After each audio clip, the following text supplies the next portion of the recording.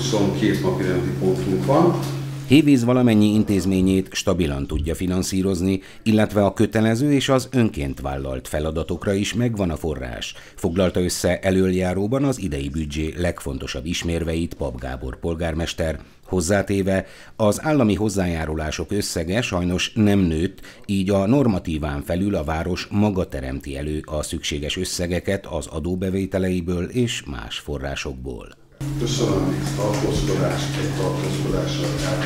Idén tartalékot is elkülönítettek, és vannak olyan intézmények, amelyek esetében létszámbővítésre nyílik lehetőség, ilyen például a Terézanya Szociális Otthon. Emellett városi programokra is több pénz jut, mint a közelmúltban.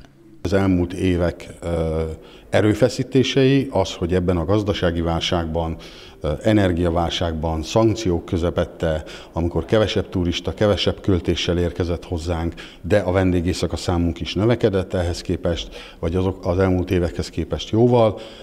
Egy stabil költségvetést, bővíteni tudtuk a költségvetésünket, plusz forrásokat tudtunk biztosítani, tartalékot tudtunk elkülöníteni. Tehát azok a fajta plegykák vagy rémhírterjesztések, amiben azt sugalták egyesek, hogy a város csődben van, és nem jó a költségvetése, nem igazak. Pap Gábor kijelentette, a megkezdett programok közül egy vár befejezésre, a gyógyhely projektet idén szeretnék átadni.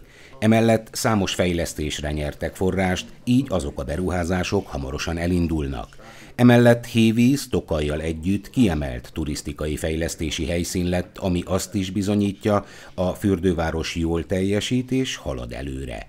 Ennek jegyében idén az idegenforgalomra is többet költenek. Egyes, a Turinform iroda fog kapni egy felújítást önerős forrásból, tehát erre is elő tudtuk teremteni a pénzt. A másik része pedig azt, amit a költségvetésnél is már említettem, hogy több pénzt tudtunk adni marketing tevékenységre és programokra. Ez pedig vélhetően majd a vendégszámban, a vendégek költésében fog jelentkezni.